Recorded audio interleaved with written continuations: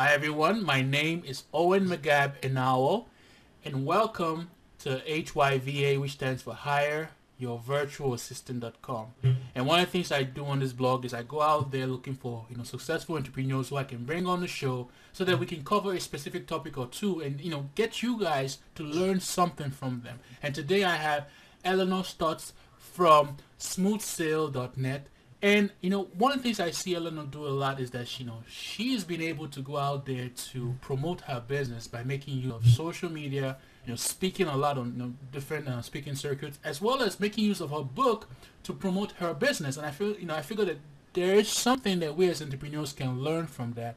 And so I, you know, invited Elinor on the show today. So Elinor, first of all, please introduce yourself to the audience and tell them what you do. Thank you so much, Owen. I'm Elinor Stutz, and my business is Smooth Sale, a sales training company. I took everything that I learned in corporate sales into my entrepreneurship.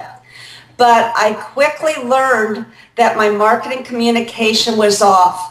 And so I began devouring marketing materials, and that's where I learned how to combine many different resources and make a, a wider variety sales training business. Uh, people were afraid of the word sale or sell, particularly women, so they didn't like the fact I announced I was a sales trainer, and the men didn't think I could possibly know enough to be a trainer. So one of the first things I did that I read in the marketing materials was that I needed to write a book to become uh, credible. And so I didn't pay attention to any of the statistics. I just thought, okay, I need to write a book. That's what I'm going to do.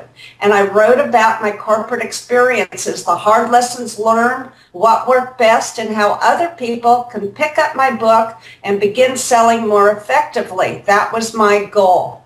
Well, you'll never guess what happened. It was entitled Nice Girls Do Get the Sale, Relationship Building That Gets Results. Yeah. It was featured in Time Magazine, translated into several languages, and today it's an international bestseller. Wow. And beyond my expectations, that's all I have to tell you, and it did build my credibility.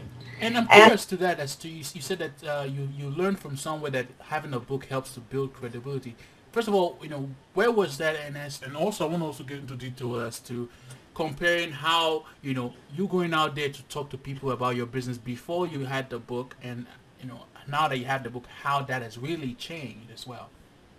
Oh, it changed tremendously because most people apparently think about writing a book but never do it. So they knew I had perseverance. That's number one.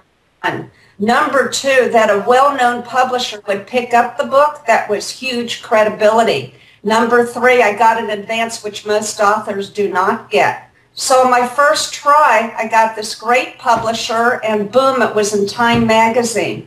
People's eyes opened up and they began to ask me to speak. And that's how the process all began. It was really with the book. And, and what was the process for writing this book? Um, I'm sure there had to be some challenges involved with that because sometimes the audience they also learn from the challenges you face. You know, so what was the process for that? Well, you always hear about writing blockages, etc. And I'm very brief when I communicate, so the hard part for me was to fill up 200 pages.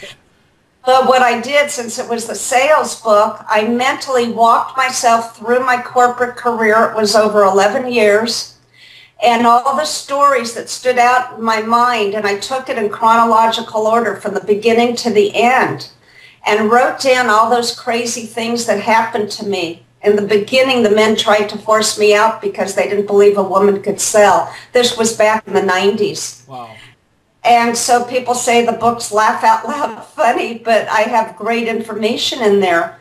And I just recalled all the stories because when you tell stories, whether you speak or you write, it draws the audience in. So that's a very important factor to understand when you're starting to write your own book. And people want self-help books on, you know, what was your hard lesson? How did you overcome it? And what can I do to speed up the learning curve and not encounter all that? So I put everything in.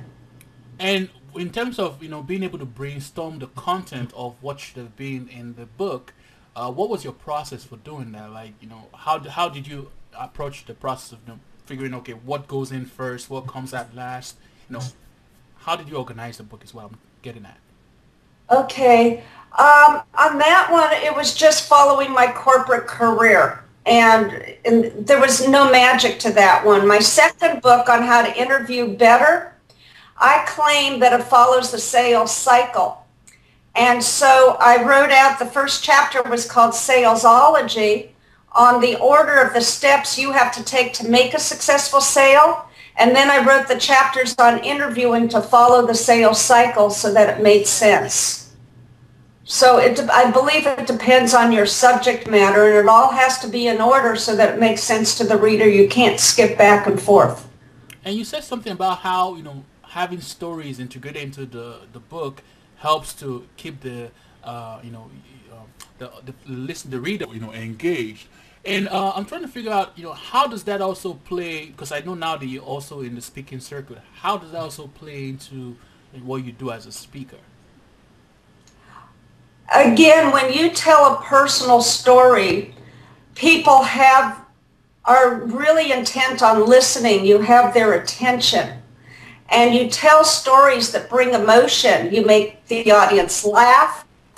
You make them be introspective with some kind of deep thought about soul searching, for instance, and what they're trying to bring into the world to help other people and then you might give them solutions to the problems of what you know why you were asked to speak what the group is most interested in so the key to all of this is to know your audience first who's in the audience and why the organizer wants you there and then you de- deliver a well-rounded talk where you address a problem possible solutions and what the outcome will be with these short stories to illustrate the examples and then people are really drawn into it and want more information. Okay. And one of the things we promised the uh, listeners when we got started was that you've been able to successfully integrate uh, the social media part of it with your the book as well as the speaking. And first of all, how, how exactly did you even get into social media in the first place? Well, I, I was getting marketing help by Malachi Drew, and she unveiled this idea of whispering energy where it would be global. She'd teach people social media. And I thought, okay, I'm in. I, I want to learn. This was two year, over two years ago, so it was kind of the leading edge. And I quickly recognized Twitter was a valuable tool. I, I mentioned before I'm a very direct communicator and quick. So Twitter was perfect for me. And rather than put out links continually, you know, triple your money, click here, or I just ate a peanut butter sandwich, I put out helpful tips that other people could read and implement immediately. Many of them were taken from my books or my articles. And then only occasionally put a link after a short tip. Well, what happened from there was six other people asked me to contribute a chapter to their books, and I was asked to speak on a number of different platforms, online conventions and in-person conventions. So a lot of opportunity came from there, and the people who connected with me on Twitter as a result of what I put out, we then had further conversations, many of us, on Facebook, where you can have longer messages. So one led to another, led to another. And when I built up a big following on Facebook too, then I was able to message a lot of people about webinars or local events or the next thing that I was doing. So they both became a valuable vehicle for attracting people to, to my business and all the different activities that I offer. So I, I guess my question now for Twitter is really, uh, um, uh, the first question is, you know, in terms of the content, you say you, you, you put very direct content as to, you know, useful tips and all that. But is is it something where you, you, you just put the, you know, send tweets on the fly or do you organize a whole collection of tweets that you organize and say, okay, using a tool saying, know, there is going to be a frequency of, you know, posting this uh, uh, information over and over again based on a schedule. How exactly do you work that? Well, you know, that's a brilliant question because it's very, very time consuming. And so I created over a period of time 1,300 tweets, which is a lot, right? Wow, I- yeah. It took a lot of time and was from many different materials that I already had written, but I just had to get it in the form of tweets. And then I take advantage of a service called mbono.net. So if you want the link, it's http colon slash slash m as in Mary, Yeah. B is in boy, mm-hmm. O, N as in Nancy, O, dot net. Okay. And it automates your tweets. There's a, uh monthly fee for it, I believe it's fourteen ninety-five. It automates everything. And so I don't have to worry about it. I'm tweeting when I'm asleep.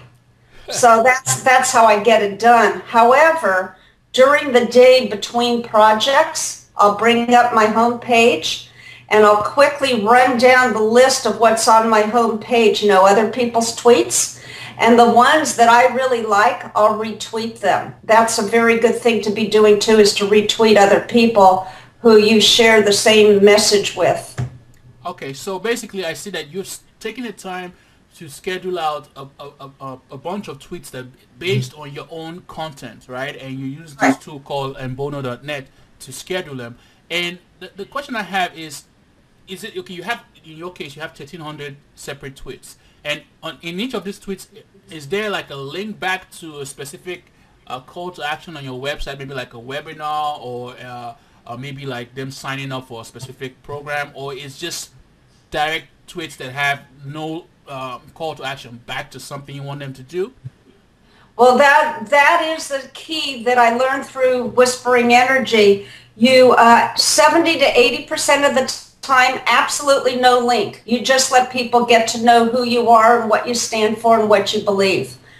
20 to 30 percent of the time, you add a link. And here's here's another tip for Twitter. You're allowed 140 characters, but you want people to retweet you too so that your name gets spread, right? Yeah. All right, so you want to deduct your identifier. So for me, I'm at Smooth Sale.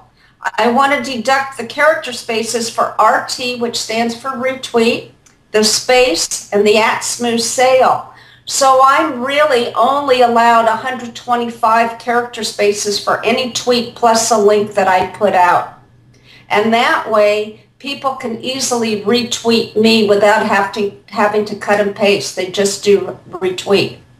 So the whole key to making a sale or getting people to retweet you is to make it easy for the other party. And this makes it real easy. And definitely, uh, you, also said that, you know, so during the day, when you're sending out this information on Twitter, is there a, a limit in each day that you're going to, amount of messages that will be sent out using the automated uh, system that you have? Well, because I have so many, I believe it goes out every 15 minutes now. But initially it was once an hour. Wow. So t- 24 a day. And as you get new ideas that you want to tweet about, you know, especially if it's tweets that you feel is going to be uh, something that people will find useful over on, on an ongoing basis, I guess you then add it to the original set of 1300 tweets you have. You just keep adding onto it, and it basically decides how to tweet them out. Is that the case? Exactly, because you don't want people to quickly recognize that you're, you're repeating over and over again. And so another thing to do, there was a website, unfortunately I don't remember the name, but uh, you can look up famous quotes. And, uh, you know, many well-known people are quoted on that site and you can copy and paste those as long as you attribute the uh, name of the person who made the original quote. So that's another way to get extra ones into your database. Definitely. So I, I get that point. Uh, 70% or 80% of the time it's going to be direct content that you've created but there's no link back and maybe the other 20% is call to action back to something that you want them to do but that's based on your content you also said that uh, you do something where you look out for uh, content that's out there that you know you think is relevant not necessarily you but then you retweet it right but I'm, I'm, I'm noticing with those retweets that they also have a link attached to the person's content right? So do you have those links attached to the person's content? What, what do you do in that respect when you're retweeting someone else's uh, material? Most of the time I don't, only occasionally.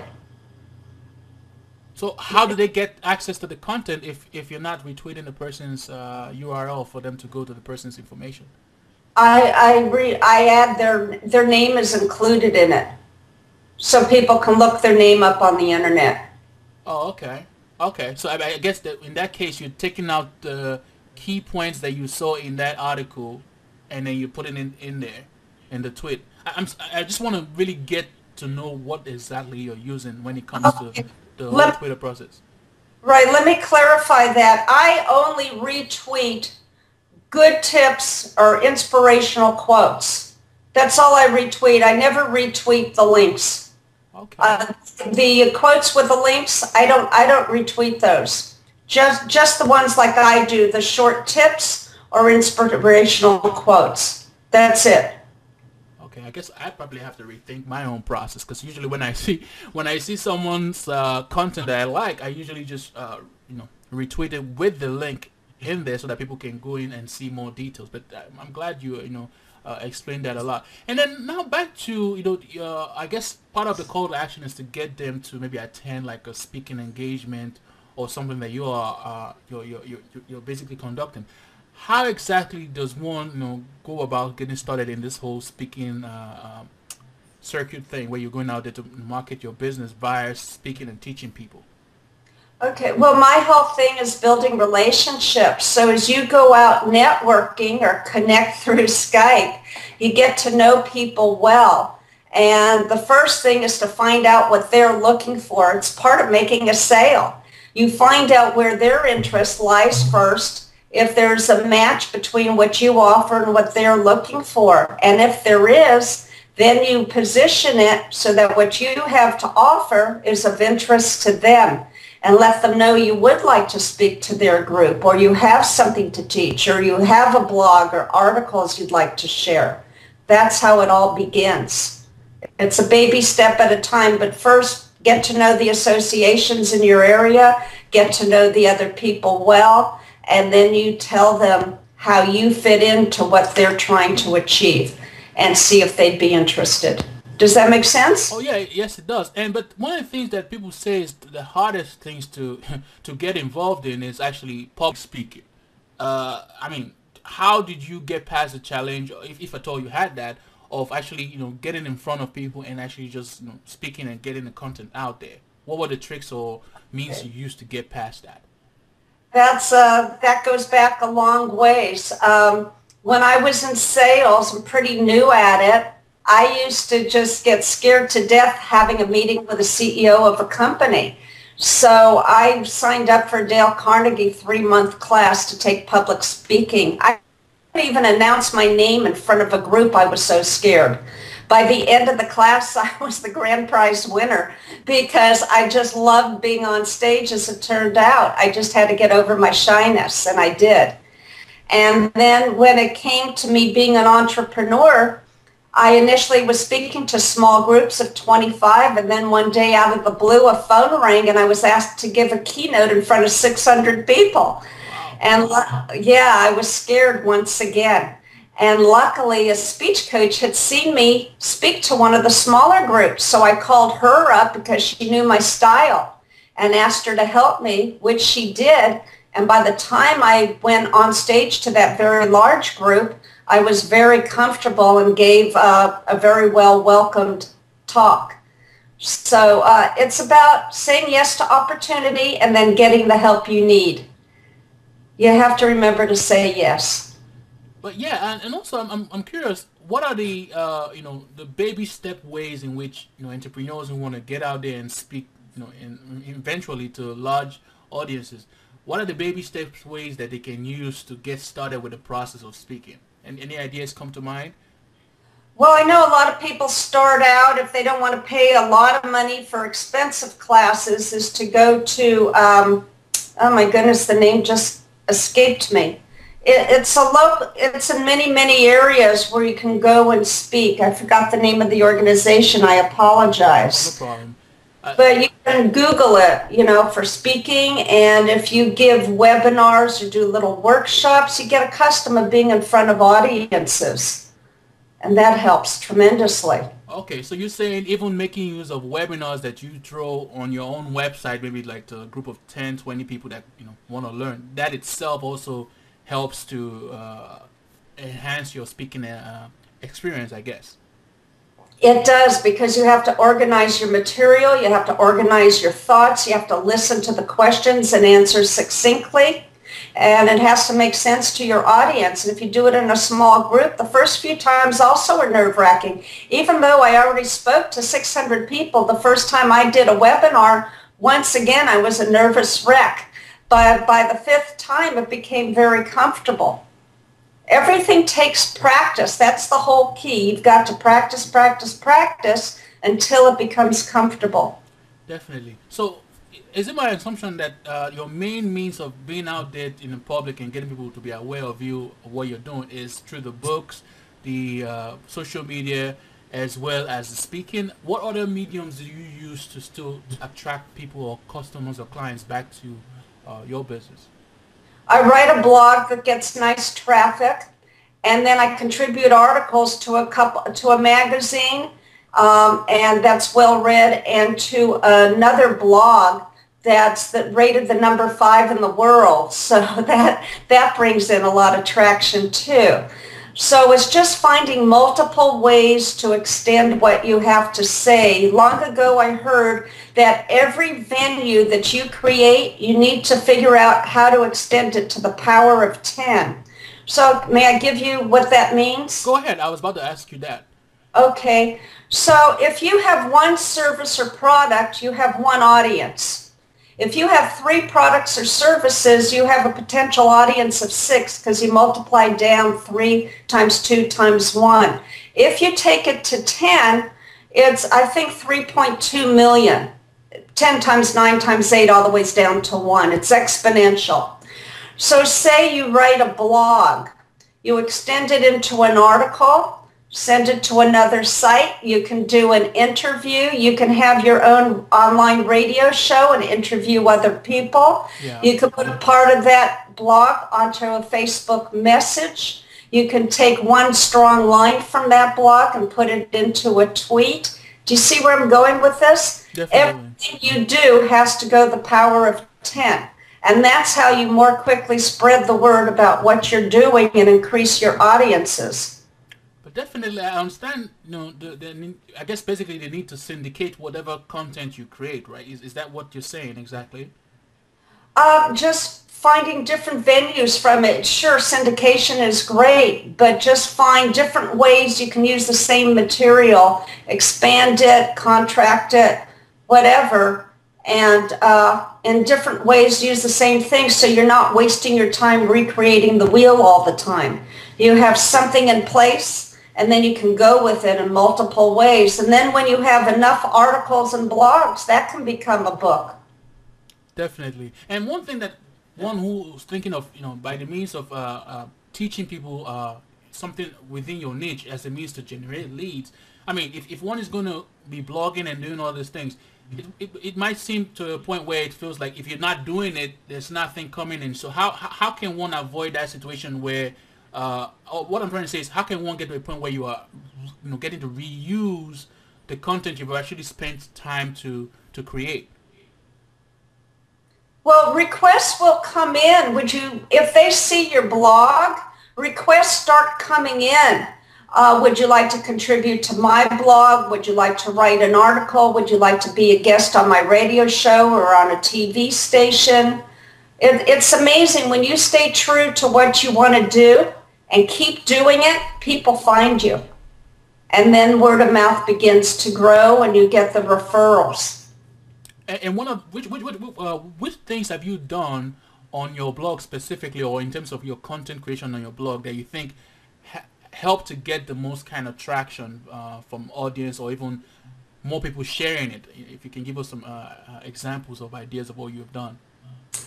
Well, actually, yesterday, I think that was the most uh, heavy traffic I ever had, and it was about sticking to your principles no matter who you're talking to. Because uh, when you are consistent and always truthful, that's a part of your brand and people recognize it. And then they trust you, have confidence in you and want to do work with you or you're interviewing. The hiring manager will sense that about you and more opportunity will come your way. So the talk about consistency and truthfulness and you know how you react one way with rel- with uh, friends and then it might be another way with relatives. And how do you resolve all of this? And when conflict arises that got a lot of traction yesterday. Definitely i understand i understand the concept but is, is do you think there was something specific that allowed that uh, um, um, blog post to resonate with a lot of people is, is there some method to how you create your blog post that helps with that? Oh, how I created it. I always use it from my personal experience, what I observe in the field, what I see is being done incorrectly, and how it can be improved or what I really like. And I, truthfully, I happen to have a conflict with somebody, and so that brought to mind how an entrepreneur should interpret all of this and how to deal with it. Definitely. So I think one of the things I'm getting from that is that you, you tend to use a lot of you know stories and personal experience when yes. you're communicating with a lot of people via this different medium, so that it, it, it really, go ahead. Well, when I'm speaking, as I share the storytelling in my in all forms of my writing, it's always based upon personal experience because I feel other people can learn from my experiences if I'm a couple steps ahead of them and again help them shorten the learning curve. That's my motto is to help other people coming up behind me. Definitely. So tying everything back together because at the end of the day we're all doing this so that you know, you know, i guess the idea is you're putting out content that you know your audience will find useful so that eventually they come back to you.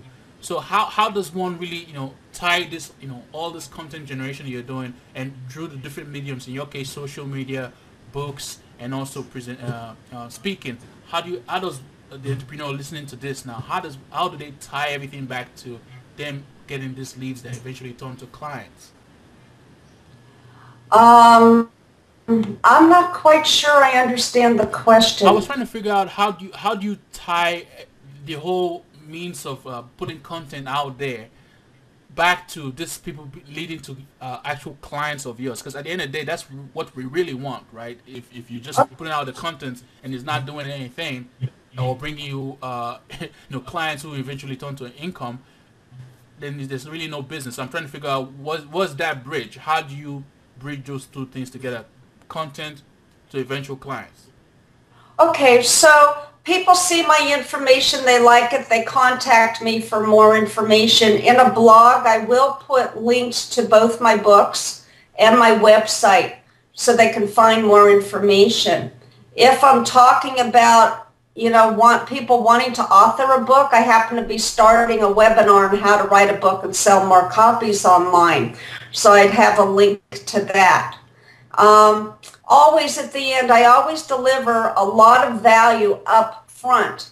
And then at the end, whether I'm speaking or resources page at the end of my books or my blog at the bottom, I will say if you enjoyed this information, here's how you can reach me. Or here's more information you might be able to need, what you know, want to seek out with the link. So I let people know further steps they can take to further engage with me. Plus, I also offer private coaching and team training. Definitely. So I guess in, in that sense, is you deliver the good content, but at the end of the day, you also put that call to action, which is not necessarily an overt, you know, come and buy from me, but it's it, it gets them to raise their hand and go through the process to eventually buy from you, I guess. Exactly. I'm not a pushy salesperson. I don't like that style. So I like to demonstrate what I can do. And then those people that are attracted to my style will connect with me one way or another, whether it's social media or by phone or email. Definitely. I've, I've really enjoyed how you, you know broke down the entire process of what, what you've been doing and turning content into actual uh, sales and you know, leads and clients. And just for that uh, audience member that's listening to this whole uh, you know uh, interview so far and trying to figure out how best they can go out there and kind of you know educate clients or you know or even potential clients of what the benefits or what exactly they do in their business. Uh, what is that one thing you want to leave with them today in this interview to, to, to get them started with the process of just even getting started in the first place? Well, the first thing is to really know what it is you enjoy doing and what you want to accomplish and then set a plan and action. And with that, very often they're detours. And you have to understand it's not a straight path to success. Be committed to continually educate yourself. I think that's the biggest key. People give up and say it's too hard or I'm losing money or it takes too much of an investment. But if you keep reading, keep asking questions and taking courses, you'll get the information you need much more quickly and you'll be able to advance forward far more quickly. So get the help you need. That I think that's critically important. And I always, always, every six months, look at where I'm headed, what's worked well, and what needs to be tweaked, and what other type of information I need. And then I go after it and, and get it. Yeah, and I noticed that too a lot because you know uh, one of the things you said in, during this interview is how you always go out there and seek information from people who can teach you how to improve on several things in your business. Like you said, how you you got someone out there was in social media, learned what they were doing, and now you're doing the same thing in your business, and also with the speaking and all that. So that's that's a very good point. And in case any one of the audience members listening to this and want to get a hold of you, how best can they do that? Well, my toll-free number is 800-704-1499. And my email is Elinor, E-L-I-N-O-R, at smoothsale, S-M-O-O-T-H-S-A-L-E dot net. And one more time, the phone number is 800-704-1499. And I'm very happy to answer your questions. Thank you very much for doing the interview. I appreciate it. Thank you very much, Owen. It was a pleasure. I like this Skype. and we Welcome back. I hope you enjoyed today's interview. And before you go, I want you to do me a favor. I'm trying to build my community of entrepreneurs who find my content useful on Facebook so we can engage, you know, have discussions live right there on Facebook. And to get to my page on Facebook, you go to www.facebook.com forward slash HY V A S S I S T A N T. And again, it's www.com. What am I saying? No, it's www.facebook.com forward slash H Y V A S S I S T A N T. And when you get there, what you're gonna do is look for the uh, a button that says like, and you click on that button, and then basically you uh, become a a fan of the page. It's that simple. You don't even have to leave me your email. Just click on the button that says like. And again, the page to go to is www.facebook.com forward slash H Y V A S S I S T A N T. And that stands for Hive Assistance. Real easy. I look forward to seeing you on Facebook. Have a great day.